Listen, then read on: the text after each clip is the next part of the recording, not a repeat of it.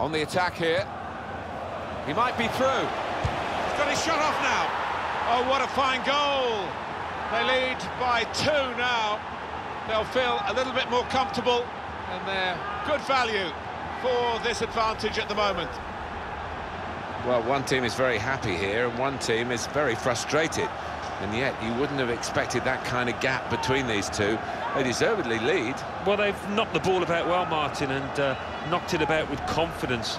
And as you say, they're two evenly matched sides, so that's been a big achievement for them. Restarting at